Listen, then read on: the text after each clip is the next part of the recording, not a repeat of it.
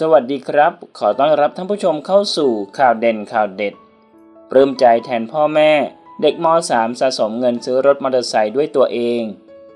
ในช่วงวัยของคนแต่ละวัยก็มักจะมีความชอบ ความอยากได้สิ่งต่างๆ ในชีวิตที่แตกต่างกันออกไปด้วยความจำเป็นในช่วงเวลานั้นๆ แต่ที่แตกต่างกันไปคือ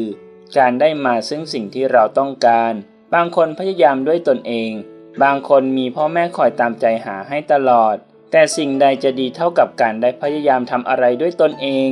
อย่างเช่นหนุ่มน้อยม .3 คนนี้ ที่ได้เก็บหอมรอมริบออมเงินซื้อรถจักรยานยนต์ด้วยตนเอง โดย Facebook Page ยูไลค์คลิปเด็ดได้เผยภาพพร้อมระบุว่า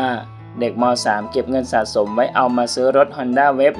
110 ล้อแม็ก เงินสด 40,000 กว่า ส่วนมากเป็นแบงค์ 20 บาท เก่งมากครับ แล้วถ้าเขาโตขึ้นอยากได้ BMW แล้วเก็บเงินสะสมไว้สัก 2 ล้าน มีแต่แบงค์20 จะขนาดไหนเนี่ย นับกันมันเลยฮ่าฮ่าฮ่า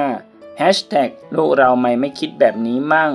การที่เราได้พยายามทำอะไรสักอย่าง เพื่อสิ่งที่เราต้องการ นั่นคือความภาคภูมิใจ